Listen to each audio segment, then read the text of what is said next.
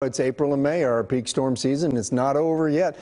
It's hard uh, to dry out when you've had precipitation 10 of the first 13 days of May, like you see in the calendar behind me. But for the same reason we've got a lot of mosquitoes, same reason we've had a lot of pollen in the air, same reason we've had really good looking gardens, we've had about double the amount of rain we typically get in the spring. The last freeze was in mid February. It's the seventh warmest, but uh, spring so far, but it hasn't been hot. We've only had two 90 degree days, and it's the ninth ninth wettest spring on record so far with more rain on the way before the week is done. We've had some rain around today, not at DFW. It was officially a dry day, but you see those thunderstorms out in Wood County. That's the last of the thunderstorm activity that got fired up by the cold front that came through across the evening. There was some really uh, big rains with that, uh, but it was all off to the east of the Metroplex. There's a live look looking down at Dallas, looking west under clear skies.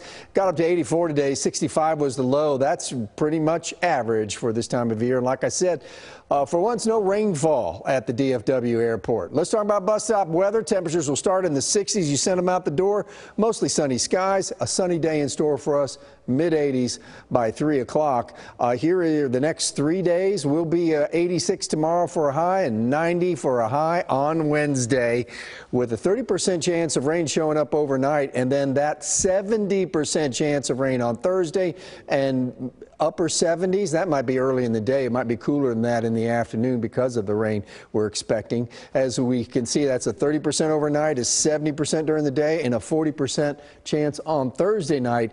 And this could be a pretty good rain. As we take a look at future cast, this is showing it uh, kind of setting in through the overnight hours, getting heavy through the daytime hours. There's a slight risk of severe weather the way it's set up, but a greater risk of some flash flooding because of all the rain of late. And this rain could go on all the way into, uh, well, Friday morning. And some of the forecast models are kicking out two and a half to three and a half inches of rain from it. That's later on the week. Let's enjoy the couple of dry days and then the big rain. And after that, only scattered thunderstorms in the forecast Friday and Saturday. Dry on Sunday, and so begins a run of 90 degree weather on Sunday.